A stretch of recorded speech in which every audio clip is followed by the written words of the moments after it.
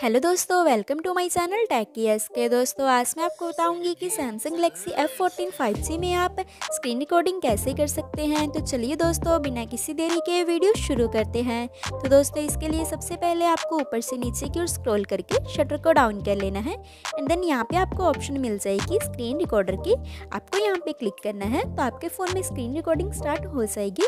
दोस्तों, मैं इसी की हेल्प से स्क्रीन रिकॉर्डिंग कर रही हूँ। और दोस्तों, अगर आपको ये ऑप्शन यहाँ पर नहीं मिलती तो आप आपको यहाँ पे इस प्लस वाले आइकन पे क्लिक करना है एंड देन यहाँ पे आपको स्क्रीन रिकॉर्डर ढूंढ लेना है। जैसे कि मान लो ये स्क्रीन रिकॉर्डर है, आपको सिंपली इसके ऊपर लॉन्ग प्रेस करके इसे नीचे लेके आना है एंड देन डन पे क्लिक कर देना है।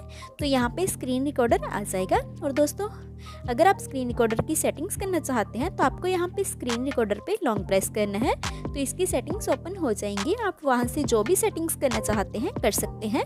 तो दोस्तों, ऐसे आप अपने phone Samsung Galaxy F fourteen five G में स्क्रीन रिकॉर्डिंग कर सकते हैं।